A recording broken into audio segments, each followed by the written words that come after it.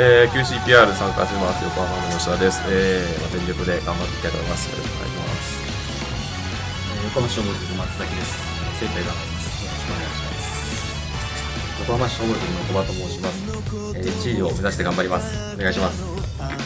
好きと言ったのに奴のどこを気に入ったの。僕はもういい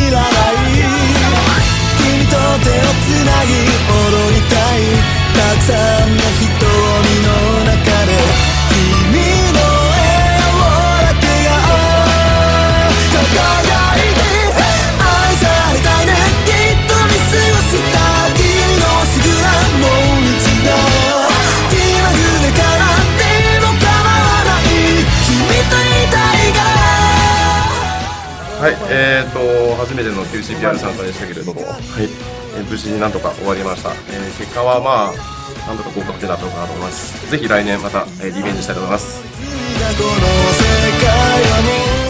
無事になのかわからないですけど終わりました、えーこれからも練習励んでいきたいと思いますよろしくお願いします、